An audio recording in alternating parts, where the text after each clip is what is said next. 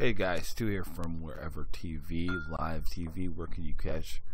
Where can you watch it online for free? How long has it been available online?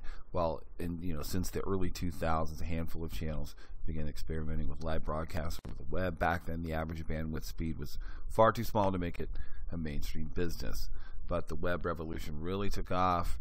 2006, YouTube. Soon, many people were watching short clips, and then the rest is pretty much history we want to thank you uh, for watching, and um, we also, you know, don't want you to forget about the special limited one-time offers that are happening now. So please search for them on the site. If you share this video, make sure you tell us when you call in. Also, as well, hit the chat box if there's one around. Someone there can give you some special links to some good information.